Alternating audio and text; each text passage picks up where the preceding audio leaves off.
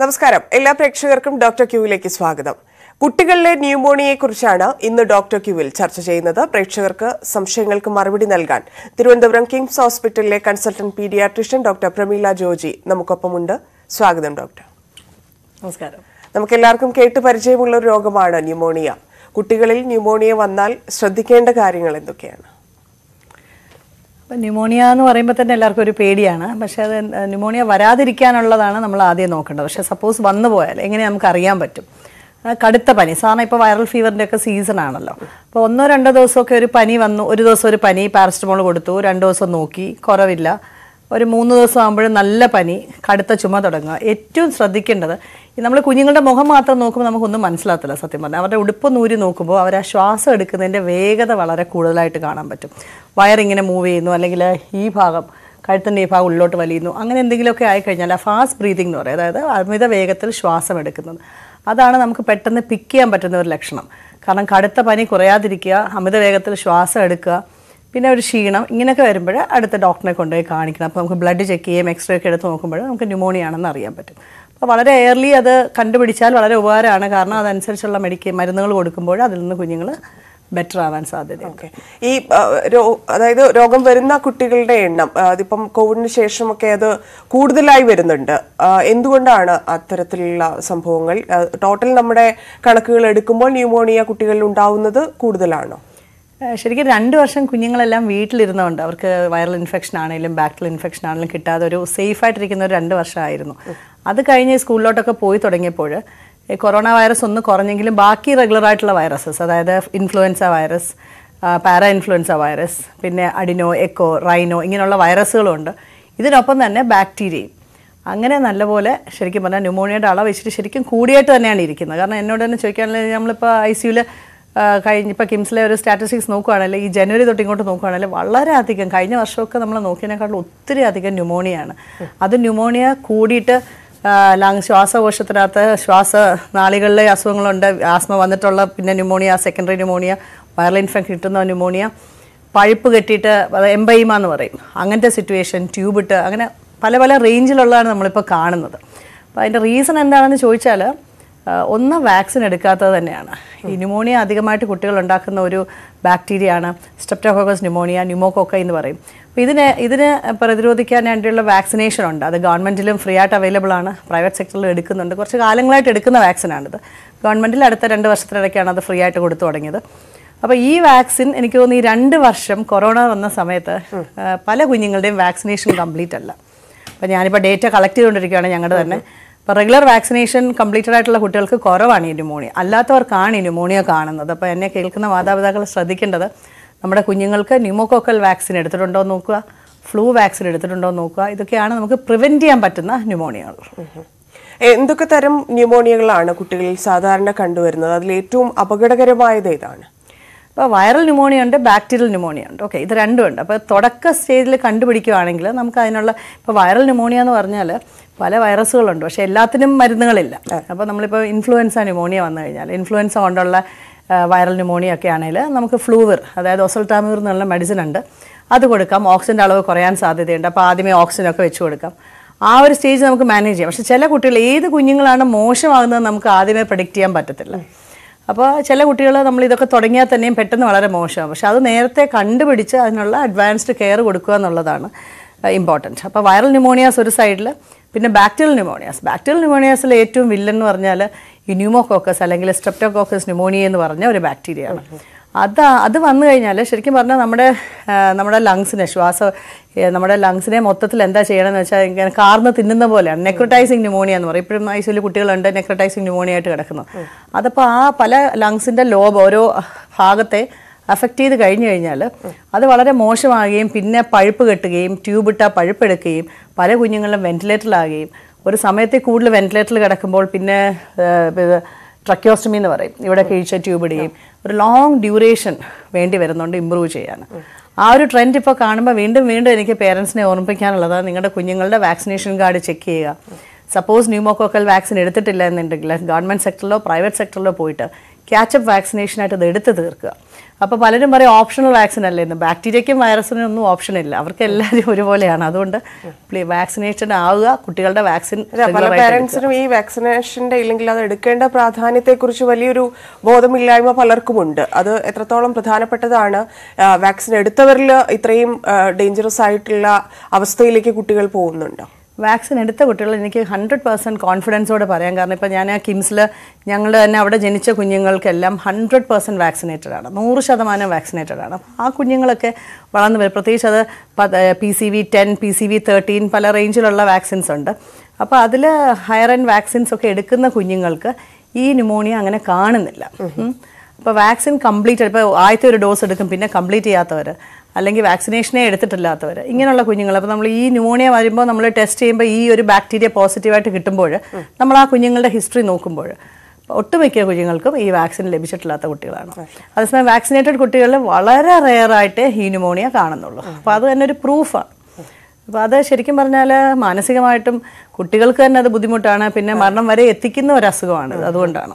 തുടക്കത്തിൽ ഈ ലക്ഷണത്തിന്റെ കാര്യം ഡോക്ടർ പറഞ്ഞു. ഇപ്പം കുഞ്ഞുങ്ങളുടെ ഡ്രസ്സ് മാറ്റി കഴിയുമ്പോഴും നമുക്കത് മനസ്സിലാവുന്നൊക്കെയുള്ള കൂടുതൽ ലക്ഷണങ്ങൾ എന്തൊക്കെയാണ്? അതായത് ആദ്യം വരുന്ന ലക്ഷണങ്ങൾ എപ്പോഴാണ്. പ്രകടമായി കടുത്ത പനി. ഇപ്പൊ ആദ്യത്തെ രണ്ട് ഞാൻ പറഞ്ഞില്ലേ ഒരു വൈറൽ ഫീവർ വന്നാലും പനി വരും. അത് പേടിക്കണ്ട. ഒത്തിരി പാനിക് ആവണ്ട. ഒരു ഒരു പനി വന്നു കഴിഞ്ഞാൽ സാധാരണഗതിയിൽ പാരസെറ്റമോൾ നമ്മൾ കൊടുക്കും ആറ് മണിക്കൂർ ഇടവിട്ട് കൊടുക്കും. രണ്ട് ദിവസം കഴിയുമ്പോൾ പനി അങ്ങ് മാറും. കുട്ടികൾ ഓക്കെ ആവും. ഇതെന്ന് വെച്ചാൽ രണ്ട് മൂന്ന് ദിവസം കഴിയുമ്പോൾ ഒന്നോ രണ്ടോ ദിവസം കടുത്ത പനി വരിക. അതിനൊപ്പം തന്നെ ചുമ നന്നായിട്ട് വരിക. കുഞ്ഞുങ്ങളുടെ ആ ശ്വാസം മുട്ടൽ ശ്വാസം എടുക്കാനുള്ള ഒരു തടസ്സം നമുക്ക് മനസ്സിലാവും. അങ്ങനെ വരുമ്പോൾ ഓർത്തോണം അത് ഡെഫിനറ്റ്ലി ഡോക്ടറിനെ കൊണ്ട് കാണിക്കുക എന്നുള്ളത് വളരെ ഇമ്പോർട്ടന്റ് ആണ്. ഇതിനിടയ്ക്ക് വേറൊരു പ്രശ്നം എന്ന് വെച്ചാൽ ആസ്മ അലർജി ഉള്ള കുട്ടികളിൽ അവരുടെ ഇൻഹേലേഴ്സ് ഒക്കെ റെഗുലറായിട്ട് എടുക്കുക കാരണം ഇങ്ങനെയുള്ള കുട്ടികൾക്ക് കുറച്ചുകൂടെ ചാൻസ് കൂടുതലാണ് ഈ ഇൻഫ്ലുവൻസ വൈറൽ ന്യൂമോണിയ ഒക്കെ കിട്ടാനുള്ള ചാൻസസ് വളരെ കൂടുതലാണ്. അപ്പോൾ ഈ ന്യൂമോക്കോക്കസ് ഞാൻ പറഞ്ഞ പോലെ തന്നെ ഇൻഫ്ലുവൻസ വൈറസിന്റെയും വാക്സിൻ എടുക്കുക. ഡോക്ടർ നമുക്കൊരു കോൾ ഉണ്ട്. ആലപ്പുഴയിൽ നിന്നാണ് രഞ്ജിത്ത്. രഞ്ജിത്ത് ഡോക്ടറോട് ചോദിച്ചോളൂ സംശയം. ഹലോ നമസ്കാരം ഡോക്ടർ നമസ്കാരം. ഡോക്ടർ എന്താ അതിന്റെ പേര്? ബദ്രിനാഥെന്നാണ് ആ പറഞ്ഞോളൂ. പിന്നെ ഇടയ്ക്ക് കോവിഡ് വന്നതിന് ശേഷം കോവിഡ് ആരും വന്നിട്ടില്ല. എന്നാലും ഇതിന് വന്ന് ഈ വന്നതിന് ശേഷം ഇടയ്ക്ക് പനി വിട്ടുമാറാൻ നിൽക്കുകയും ചെയ്യും. ഇടയ്ക്കിടയ്ക്ക് പനി വരികയും ചെയ്യും. ചുമയും മാറാൻ നിൽക്കുന്നുണ്ട് ഉം. അതും വേറൊരു പറഞ്ഞോ. കംപ്ലീറ്റ് ആയിട്ട് ഞാൻ പറയാം. അപ്പൊ ചുമ ഇടയ്ക്കിടയ്ക്ക് ചുമ വന്നിരിക്കും. അല്ലാതെ അത് കഫവും വരുന്നുണ്ട്. കഫവും കൂടുതലായിട്ട് വരുന്നുണ്ട്. ഈ കഫം ഈ ഇതിന്റെ ലക്ഷണമെല്ലാം ആണോ? അങ്ങനെ പറയാൻ പറ്റില്ല കാരണം കോവിഡ് കുട്ടികൾക്ക് ഈ വന്നു കഴിഞ്ഞിട്ട് ഈ പ്രത്യേകിച്ച് കോവിഡ് ശേഷം അതിന് നമുക്ക് ഡേറ്റയൊക്കെ അതിന്റെ നോക്കിയാലേ അറിയാൻ പറ്റും. കോവിഡ് വന്നു പോയതിന് ശേഷം കുട്ടികൾക്ക് കുറച്ച് ചുമ കൂടുതലായിട്ടുണ്ട്. അലർജിയൊക്കെ ഉള്ള കുട്ടികൾക്ക് കണ്ടിന്യൂസ് ആയിട്ട് വീസിങ് വരുന്നുണ്ട്. അപ്പോൾ ഈ കുഞ്ഞിന് പനി പനിയുണ്ട് ചുമയുണ്ട് പക്ഷേ വലിയ പ്രോബ്ലം ഇല്ല ശ്വാസമുട്ടലോ അങ്ങനെയൊന്നും ഇല്ലാന്നുണ്ടെങ്കിൽ അത്ര പറയേണ്ട കാര്യമില്ല. പക്ഷെ ശ്രദ്ധിക്കണം ഈ ചുമ ഇങ്ങനെ നീണ്ടു നിൽക്കുവാണെങ്കിൽ അടുത്ത പീഡിയാട്രിഷനെ കാണിക്കണം. കാരണം ആസ്മ ഉള്ള ആളാണോ അങ്ങനത്തെ ഒരു ചുമയാണോ അങ്ങനെയാണെങ്കിൽ അതിന്റെ ആയിട്ടുള്ള ട്രീറ്റ്മെന്റ്. കാരണം ശ്വാസനാളികൾക്ക് വരുന്ന നീർക്കെട്ടും ഒക്കെയാണ് നമ്മൾ ആസ്മ എന്ന് പറയുന്നത്. അപ്പോൾ അതിനെ വേറെ രീതിയിലാണ് ട്രീറ്റ് ചെയ്യേണ്ടത്. അങ്ങനെ ചിലപ്പോൾ ട്രീറ്റ് ചെയ്യുമ്പോൾ ഈ ചുമ മാറിയെന്നിരിക്കും. അല്ലാന്നുണ്ടെങ്കിൽ ഇടയ്ക്കിടയ്ക്ക് ഈ ഈ ഒരു സീസണിൽ കുട്ടികൾക്ക് സ്കൂളിൽ പോകുമ്പോൾ പനി വരും. രണ്ട് ദിവസം നമ്മൾ ട്രീറ്റ് ചെയ്യും ബെറ്റർ ആവും. പിന്നെ സ്കൂളിൽ പോകുമ്പോൾ കിട്ടും. അത് പറയേണ്ട കാരണം ഇപ്പോൾ ഒരാൾക്ക് മാറി ഒരാൾക്ക് മാറി കിട്ടുന്ന ഒരു സീസണാണ്. അപ്പോൾ ചേ ഞാൻ നേരത്തെ പറഞ്ഞത് കേട്ടുവെങ്കിൽ ഈ ഫ്ലൂവിന്റെ വാക്സിൻ എടുക്കുക കുട്ടികൾക്ക്. നിർബന്ധമായും ചുമ വിട്ടുമാറാത്ത കുട്ടികൾക്ക് ഇൻഫ്ലുവൻസ വാക്സിൻ ദയവ് ചെയ്ത് മാതാപിതാക്കളെല്ലാം എടുക്കുക. പിന്നെ ഈ ന്യൂമോക്കോക്കൽ വാക്സിൻ കുഞ്ഞുങ്ങൾക്ക് ഇതുവരെ എടുത്തിട്ടില്ല എന്നുണ്ടെങ്കിൽ എത്ര വയസ്സുള്ള കുട്ടികളാണെങ്കിലും നമുക്ക് ആയിട്ട് എടുക്കാൻ പറ്റും. അപ്പോൾ അതും കംപ്ലീറ്റ് ചെയ്യുക. ആ രണ്ട് കാര്യം കൂടെ ശ്രദ്ധിക്കുക. ഓക്കെ ഡോക്ടർ ചെറിയ സംശയം ഉണ്ടെങ്കിൽ പാരൻസിന് ഇങ്ങനെ ന്യൂമോണിയ ആണോ എന്നുള്ളൊരു സംശയം ഉണ്ടെങ്കിൽ എന്തൊക്കെ പരിശോധനകളാണ് ഡോക്ടറിനെ കണ്ടതിന് ശേഷം ഇല്ലെങ്കിൽ ഡോക്ടേഴ്സ് എന്തൊക്കെയാണ് പറയുന്നത്? സാധാരണഗതിയിൽ ഇപ്പം ഇപ്പോഴത്തെ ഒരു ട്രെൻഡ് എന്ന് വെച്ചാൽ എന്ത് സംശയം ഉണ്ടെങ്കിലും ഗൂഗിളിൽ പോയി നോക്കുക എന്നുള്ളതാണ്. അപ്പോൾ അത് ആദ്യം അങ്ങ് നിർത്തുക. ഈ ഗൂഗിൾ ഡോക്ടറിനോട് കൺസൾട്ട് ചെയ്യുന്നതുകൊണ്ടാണ് പല പേരൻസും അവരുടെ ഐഡിയാസ് ഒക്കെ മാറി മാറി പോകുന്നത്. അപ്പോൾ ഏതെങ്കിലും ഡോക്ടറിനെ കാണിച്ചു കഴിഞ്ഞാൽ ഏത് പീഡിയാട്രിഷനെ കാണിച്ചു കഴിഞ്ഞാലും ഒത്തിരി ടെസ്റ്റ് ഒന്നും ഇല്ലാതെ തന്നെ ഇത് നമുക്ക് ഡയഗ്നോസ് ചെയ്യാൻ പറ്റും. നമ്മൾ സ്റ്റെത്ത് വെച്ച് നോക്കുമ്പോൾ ആ ശ്വാസം നമ്മൾ ശ്വാസം സൗണ്ട് ശ്വാസം ശ്വസിക്കുന്നതിന്റെ സൗണ്ട് നമ്മൾ രണ്ട് സൈഡിൽ കേൾക്കുന്നതിന്റെ വ്യത്യാസം ഒക്കെ കൊണ്ട് തന്നെ ക്ലിനിക്കലി നമുക്ക് കണ്ടുപിടിക്കാൻ പറ്റും. അതുകൊണ്ട് നമ്മൾ എക്സ്ട്രാ ബ്ലഡ് ചെക്ക് ചെയ്യും. സി ആർ പി എന്ന് പറഞ്ഞാൽ ആ ബ്ലഡിലെ ഇൻഫെക്ഷൻ റേറ്റ് വളരെ ഹൈ ആണോ എന്ന് നോക്കാൻ പറ്റും. പിന്നെ എക്സ്റേ എടുത്ത് നോക്കാൻ പറ്റും. ഇത്രയുള്ള മിനിമം ഇൻവെസ്റ്റിഗേഷൻസ് കൊണ്ട് കണ്ടുപിടിക്കാൻ പറ്റും. പക്ഷേ ഒട്ടുമുക്കാൽ പ്രിയാട്രിഷ്യൻസും ക്ലിനിക്കലി നമ്മൾ സ്റ്റെത്തൊക്കെ വെച്ച് നോക്കുമ്പോൾ തന്നെ നമുക്ക് അറിയാൻ പറ്റും. ഓക്കെ ഈ കുഞ്ഞ് സിക്കാണ് ഇത് ന്യൂമോണിയ ആണ് ഇത് ആ കാറ്റഗറിയാണ് ഈ കാറ്റഗറിയാണ് ഇത് നമുക്ക് മെഡിസിൻസ് കൊടുത്ത് മാറ്റാം ഇത് അഡ്മിറ്റ് ചെയ്തേ മാറ്റാൻ പറ്റുള്ളൂ. അപ്പോൾ അങ്ങനെ പണ്ട് ഒരു ട്രെൻഡ് ചേഞ്ച് ഞാൻ കാണുന്നതെന്ന് വെച്ചാൽ പണ്ടൊക്കെ നമ്മളിത് പറയുമ്പോൾ പേരൻസ് ആ ഓക്കെ എന്ന് പറയും. പക്ഷെ ഇപ്പോൾ ഒന്നുകൂടെ ആലോചിക്കും വേണോ? ഈ മരുന്ന് വേണോ. അപ്പോൾ ആ ഒരു ഗൂഗിൾ ഡോക്ടറിന്റെ ഒരു ഇൻഫ്ലുവൻസ് വളരെയധികം നമ്മുടെ സൊസൈറ്റിയിൽ നടന്നുകൊണ്ടിരിക്കുന്നത് ഡോക്ടർ ഒരു കോൾ കൂടി ഉണ്ട് കോഴിക്കോട് പേരമ്പ്രയിൽ നിന്നാണ് ജസ്ന. ജസ്ന ഡോക്ടറോട് ചോദിച്ചോളൂ. ഹലോ എനിക്ക് ഇങ്ങനെ ബ്രസ്റ്റിന്റെ അവിടെ ഒരു ചൊറിച്ചിൽ പോലെ ഉണ്ട് ഒരു ഒരു താരന്റെ പോലെ ഇങ്ങനെ വരുന്നുണ്ട്. ഭയങ്കര ചൊറിച്ചിലാണ്. ചൊറിഞ്ഞിട്ട് ഇങ്ങനെ കുരു പോലെ ഇങ്ങനെ പൊട്ടി. താരനല്ല ഒരു തൊലി ഇങ്ങനെ പറഞ്ഞു പോവാ. അപ്പൊ അതെന്താണെന്ന് അറിയാൻ വേണ്ടിട്ടാണ് അത് ബ്രസ്റ്റ് ഫീഡിങ് ചെയ്യാൻ പറ്റും അങ്ങനെ ആവുമ്പോ? അത് അത് വിഷമിക്കേണ്ട കാര്യമില്ല. ഒരു കാൻഡിഡിൽ ഇൻഫെക്ഷൻ ആയിരിക്കും കേട്ടോ. അത് ശരിക്കും ഒരു ഡെർമറ്റോളജിസ്റ്റിനെ അല്ലെങ്കിൽ ഒന്ന് ജസ്റ്റ് കാണിച്ചിട്ട് കാൻഡിഡിന്റെ എന്തെങ്കിലും ഓയിൻമെന്റ് തേച്ചാൽ മാറാവുന്നതേ ഉള്ളൂ കേട്ടോ. അത് ആ ഭാഗത്തെ ഈർപ്പം നിലനിന്ന് വരുന്നതാണ്. ഓക്കെ ശരി. ഡോക്ടർ ഈ കുട്ടികളിൽ ഈ ന്യൂമോണിയ വന്നതിന് ശേഷം അത് പൂർണമായി ഭേദമാകാൻ എത്ര സമയമെടുക്കും?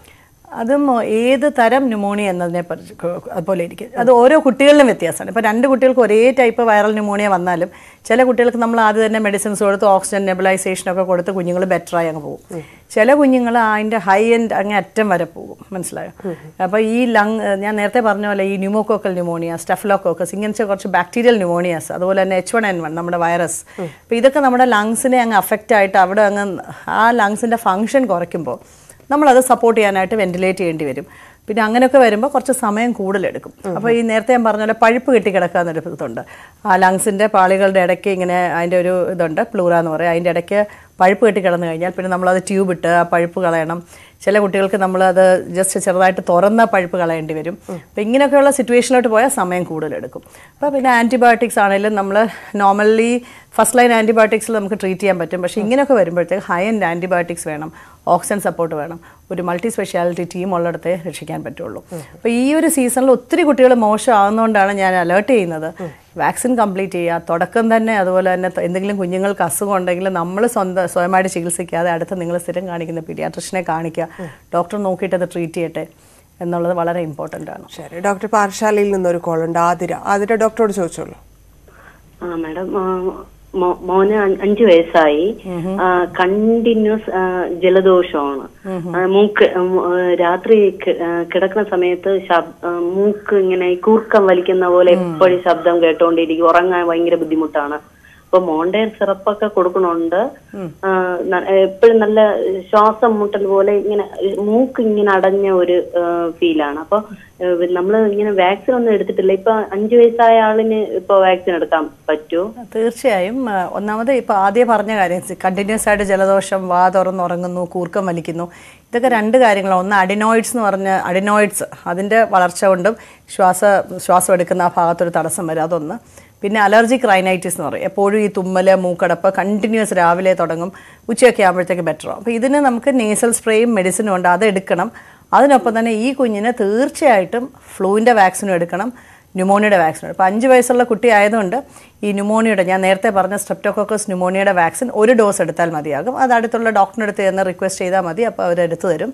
ഇൻഫ്ലുവൻസയുടെ ഡോസ് അഞ്ച് വയസ്സുള്ള കുഞ്ഞാകുമ്പോൾ ഫ്ലൂ വാക്സിൻ രണ്ട് ഡോസ് ഒരു മാസം ഇടവിട്ട് എടുക്കണം ആദ്യമായിട്ട് എടുക്കുമ്പോൾ പിന്നെ എല്ലാ വർഷവും സിംഗിൾ ഡോസ് അപ്പോൾ ഇനി എടുക്കാവുന്നേ വാക്സിൻ. പിന്നെ ഈ ട്രീറ്റ്മെന്റും എടുക്കണം. കാരണം ഇത് അഡിനോയിഡ്സും അലർജിക് റൈനൈറ്റിസും ആണ്. ഇപ്പോൾ പറഞ്ഞ സിംറ്റംസ് കേട്ടിട്ട് അതുപോലെയാണ് തോന്നുന്നത്.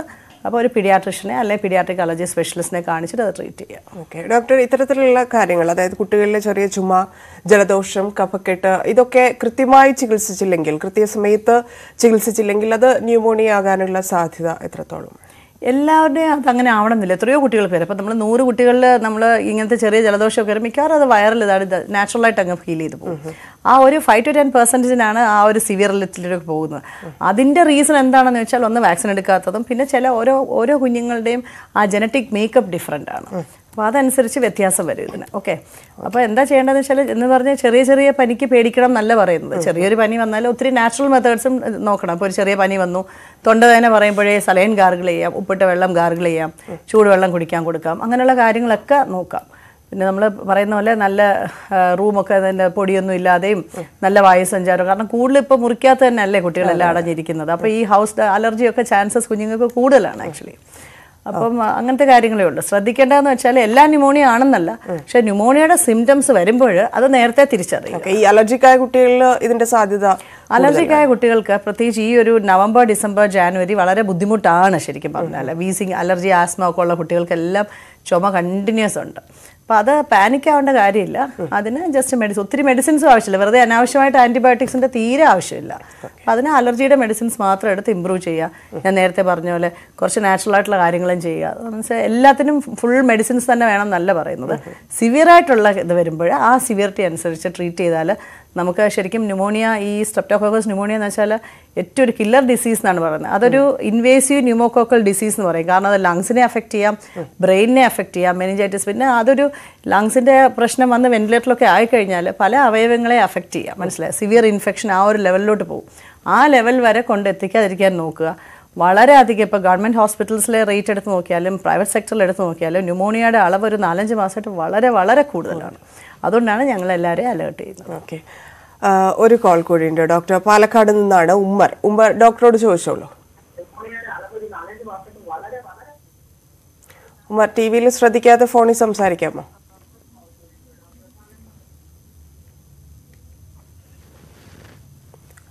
കോൾ കട്ടായി അശ്വിനി തൃശ്ശൂരിൽ നിന്ന്. അശ്വിനി ഡോക്ടറോട് ചോദിച്ചോളൂ. ഓക്കെ ഹലോ ഡോക്ടർ ഹലോ എന്റെ മോന് ഇപ്പൊ നാല് വയസ്സായി. അവന് ഈ കണ്ടിന്യൂസ് ആയിട്ട് ചുമ വരിക. ഇടയ്ക്ക് ഇപ്പൊ നിർത്ത കുറച്ചു നേരം നാളുണ്ടാവില്ല പിന്നെ വീണ്ടും ചുമ വരിക. കപക്കെട്ടും ഉണ്ടാവുക ഒക്കെ പനി ഇല്ലാതെയാണോ ഈ ചുമ അടിക്കടി വരുന്നത്? ആ ഇടയ്ക്ക് പനിക്കും ഇടയ്ക്ക് ഇടയ്ക്ക് പനി ഉണ്ടാവൂല പക്ഷെ കണ്ടിന്യൂസ് ആയിട്ട് ചുമ. ഇങ്ങനെ കപ കപക്കെട്ടും ഉണ്ടാവാറുണ്ട്. അത് അലർജിയുടെ ആണോ അത്? അത് നമുക്ക് നോക്കിയാലേ പറയാൻ പറ്റത്തില്ല വെച്ചാൽ ഫാമിലി ഹിസ്റ്ററി നിങ്ങൾക്ക് അച്ഛനോ അമ്മയ്ക്കോ അലർജി ഉണ്ട് ഫാമിലിയിൽ ഒത്തിരി പേർക്ക് അലർജി ആസ്മയൊക്കെ ഉണ്ട്. പിന്നെ കുഞ്ഞിനും കണ്ടിന്യൂസ് ഈ ചുമ ഉണ്ടെന്നുണ്ടെങ്കിൽ അതനുസരിച്ച് പീഡിയാട്രിഷനോട് നോക്കി കഴിഞ്ഞിട്ട് നമ്മൾ സ്റ്റെതസ്കോപ്പ് വെച്ച് നോക്കണം. വീസിങ് സൗണ്ട് ഉണ്ടോ എന്ന് നോക്കണം. അതൊക്കെ നോക്കിയിട്ട് പീഡിയാട്രിഷനെ കാണിച്ചിട്ട് അതനുസരിച്ച് ട്രീറ്റ് ചെയ്ത് പോവുക. ലക്ഷണം കേട്ടിട്ട്? വാക്സിൻ എടുത്തൂടെ? സോ വാക്സിൻ എടുക്കാമല്ലോ ഉറപ്പായിട്ട് എടുക്കാമല്ലോ ഇതൊന്ന് ജസ്റ്റ് ഈ ചുമയൊക്കെ എന്ന് കുറയുമ്പോൾ അടുത്ത പീഡിയാട്രിഷനെ കാണിച്ചിട്ട് ഫ്ലൂ വാക്സിൻ എടുക്കണം എന്ന് പറഞ്ഞു കഴിഞ്ഞാൽ ഡോസ് എടുത്ത് തരാം. അപ്പം പിന്നെ ആന്റിബയോട്ടിക് കുറെ കൊടുത്തു. പിന്നെ ചുമ വരുമ്പോ ഡോക്ടർ ആന്റിബയോട്ടിക്കിനെ എഴുതി തരും കൊടുക്കും. പിന്നെ അപ്പം മാറിയാലും കുറച്ച് ദിവസം കഴിയുമ്പോ വീണ്ടും ആ ചുമ തന്നെ വീണ്ടും വരും. ശരിക്കും പറഞ്ഞാൽ ചെറിയ ചുമ വരുമ്പോൾ ആന്റിബയോട്ടിക് അല്ല അതിന്റെ പ്രതിവിധി. പക്ഷേ അത് ഡോക്ടേഴ്സ് നോക്കുമ്പോൾ അവർ നോക്കിയിട്ട് ഇൻഫെക്ഷൻ ഉണ്ടെന്ന് തോന്നുവാണെങ്കിലാണ് ആന്റിബയോട്ടിക്സ് ചെയ്യുന്നത് ട്രീറ്റ് ചെയ്യുന്നത്. പക്ഷേ നിങ്ങൾ കഴിഞ്ഞ പ്രാവശ്യം ട്രീറ്റ് ചെയ്തത് വെച്ച് ആ പ്രിസ്ക്രിപ്ഷൻ കൊണ്ട് പിന്നെയും പോയി ആന്റിബയോട്ടിക്സ് വാങ്ങിക്കുന്ന പല മാതാപിതാക്കളുണ്ട്. അങ്ങനെ ചെയ്യരുത്. ഓരോ പ്രാവശ്യം വരുമ്പോൾ ഡോക്ടറെ കാണിക്കുക. സിവിയറിറ്റി അനുസരിച്ച് ഡോക്ടേഴ്സ് പറയുന്നത് പോലെ ചെയ്യുക. ഓക്കെ. ഡോക്ടർ മറ്റു കോൾസിലേക്കും സംശയത്തിലേക്കും തിരിച്ചെത്താം. ഇടവേളയ്ക്ക് ശേഷം.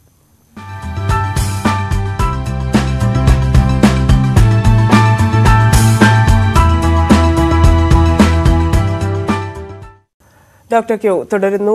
ഡോക്ടർ നമ്മൾ നേരത്തെ വാക്സിൻ എടുക്കേണ്ട ആവശ്യകതയെ കുറിച്ച് അല്ലെങ്കിൽ അത് എത്രത്തോളം അത്യാവശ്യമായി ഇപ്പോൾ എന്നുള്ളതിനെ കുറിച്ച് പറഞ്ഞു. എന്തുകൊണ്ടായിരിക്കും ചിലരെങ്കിലും വാക്സിൻ എടുക്കുന്നതിൽ നിന്ന് പിറകോട്ട് പോകുന്നത്? ഇതൊരു വലിയ ബുദ്ധിമുട്ടുള്ള ഒരു ഡിഫിക്കൽട്ട് ആയിട്ടൊരു ചോദ്യമാണ്. എന്തുകൊണ്ട് പുറകോട്ട് പോകുന്നു എന്ന് ചോദിച്ചാൽ നമ്മുടെ രാജ്യത്തിൽ ഈ വാക്സിൻ എടുക്കുന്നത് കുഞ്ഞിന്റെ ഒരു ബർത്ത് റൈറ്റ് ആയിട്ട് ഇതുവരെ വന്നിട്ടില്ല. പേരൻസ് ആണ് ഡിസൈഡ് ചെയ്യുന്നത്. ബാക്കി രാജ്യങ്ങളിലൊക്കെ വാക്സിൻ എടുക്കുക എന്നുള്ളത് അത് മാൻഡേറ്ററി ആണ്.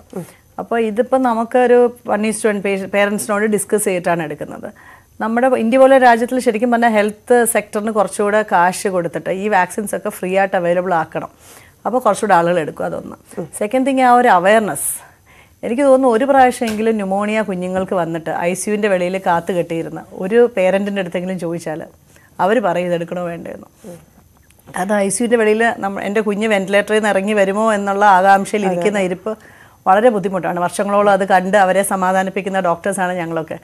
അതുകൊണ്ട് ശരിക്കും പറഞ്ഞാൽ ആ ഒരു വാക്സിൻ എടുക്കണം എന്നുള്ള മോട്ടിവേഷൻ നമ്മുടെ കുഞ്ഞുങ്ങൾക്ക് അസുഖം വന്നിട്ടാവരുത്. പ്രിവെൻഷനായിട്ട് തന്നെ വാക്സിൻ എടുക്കണം. ഓക്കെ. ഒരിക്കൽ കുട്ടികൾക്ക് ഈ ന്യൂമോണിയ വന്നാൽ വീണ്ടും വരാനുള്ള സാധ്യത സാധ്യതയുണ്ട്. കാരണം ഈ ബാക്ടീരിയ വൈറസും ഒക്കെ നമ്മളെ പോലെ തന്നെ ജീവിക്കുന്നതാണ്. മനസ്സിലായത് നമ്മുടെ ദേഹത്ത് തന്നെ ഈ സ്റ്റെഫ്ലോകോക്കസ് എന്നൊക്കെ ബാക്ടീരിയ നമ്മുടെ സ്കിന്നിൽ തന്നെ നിറച്ചുള്ളതാണ്. അപ്പോൾ അവർ ചുറ്റുപാടുമുള്ള മനസ്സിലായി? വൈറസസും ബാക്ടീരിയയും. അവർ നമ്മുടെ ദേഹത്ത് കയറുമ്പോൾ അതിനൊരു ആന്റിബോഡി നമ്മുടെ ദേഹത്തുണ്ടെങ്കിൽ കുറച്ച് നമുക്ക് അതിനൊരു പ്രൊട്ടക്ഷൻ കിട്ടും. ഒരിക്കൽ വന്നാൽ വീണ്ടും വരാൻ സാധ്യതയുണ്ട്. നമ്മുടെ സാഹചര്യങ്ങൾ കൂടിയാണല്ലോ ഇങ്ങനെ അസുഖം വരാനുള്ള കാരണങ്ങൾ. അപ്പൊ അമ്മമാരും വീട്ടിലുള്ള മറ്റുള്ളവരും അവരുടെ പരിസരവും ഒക്കെ എത്രത്തോളം ശ്രദ്ധിക്കേണ്ടതുണ്ട്? പരിസരം ശ്രദ്ധിക്കണം. ഓക്കെ നല്ല അലർജി അലർജിയൊക്കെ ഉള്ള കുട്ടികൾക്ക് പ്രത്യേകിച്ച് അവരുടെ ഈ ബെഡ്ഷീറ്റ്സ് പില്ലോ കവർ ഇതൊക്കെ ശരിക്കും മൂന്ന് നാല് ദിവസം കൂടുമ്പോൾ മാറ്റണം. പണ്ട് നമ്മുടെ ഗ്രാൻഡ് പേരൻസ് ഒക്കെ ചെയ്യുന്ന പോലെ ഈ തലേണയും മെത്തയൊക്കെ വെയിലത്തെടുത്തിടണം. പക്ഷെ ഇപ്പോഴത്തെ ബെഡിങ്സ് ഒക്കെ ഭയങ്കര കനമൊക്കെ ഉള്ളതുകൊണ്ട് അതൊക്കെ എടുത്ത് എപ്പോഴും വെയിലത്തിടൽ നടക്കില്ല. At least bedsheets and pillow covers ഒക്കെ മാറ്റാം. അപ്പോൾ ഈ പൊടിച്ചെള്ള അല്ലെങ്കിൽ ഹൗസ് ഡസ്റ്റ് മൈറ്റ് ഒക്കെ കുറച്ച് കുറഞ്ഞു കിട്ടും. അതൊക്കെ കുറച്ച് കാര്യങ്ങൾ പിന്നെ എനിക്ക് തോന്നുന്നു കുട്ടികൾ കുറച്ചുകൂടെ ഇൻഡോർ ആണ് ഇപ്പോൾ കൂടുതൽ അല്ലേ? അപ്പോൾ കുറച്ച് ഔട്ട്ഡോർ കുറച്ചുകൂടെ പൊല്യൂഷൻ ശരിക്കും പറഞ്ഞാൽ ഇങ്ങനത്തെ അലർജി സംബന്ധമായിട്ടുള്ള കുട്ടികൾക്ക് പുറത്തൊക്കെ ഇറങ്ങി കഴിഞ്ഞാൽ കുറച്ചുകൂടെ ഔട്ട്ഡോർ ആകുമ്പോൾ കുറച്ചുകൂടെ ബെറ്റർ ആണ് അതൊന്ന്. പിന്നെ ബാക്ടീരിയയും വൈറസസിനെയും പ്രൊട്ടക്ട് ചെയ്യാൻ നമുക്ക് ഇല്ലാതാക്കാൻ പറ്റത്തില്ല. അപ്പോൾ വാക്സിൻസ് ഒക്കെ എടുക്കുക എന്നുള്ളത്. പിന്നെ കുഞ്ഞുങ്ങളെ കുറച്ചുകൂടെ ഹെൽത്ത് കോൺഷ്യസ് ആക്കുക. ഔട്ട്ഡോർ ഗെയിംസ് ഞാൻ എപ്പോഴും ഇപ്പോൾ പേരൻസിനോടൊക്കെ പറയും ഈ ആർട്സ് സ്പോർട്സ് എന്തെങ്കിലും ഒരു സ്പോർട്സ് ഐറ്റം മാൻഡേറ്ററി ആക്കുക കുഞ്ഞുങ്ങൾക്ക്. എന്തെങ്കിലും ഒരു സ്പോർട്സ് സ്വിമ്മിങ്ങോ എന്തെങ്കിലും ഒരു സ്പോർട്ട് സ്പോർട്സ് ഐറ്റം കുഞ്ഞുങ്ങളെ പഠിപ്പിക്കുക. അപ്പോൾ കുറച്ചുകൂടെ കുഞ്ഞുങ്ങളൊന്ന് ആക്റ്റീവ് ആക്കുക. ഫുൾ ടൈം മൊബൈലും കമ്പ്യൂട്ടറും കൊടുത്ത് ഇങ്ങനെ ഇരുത്താതെ.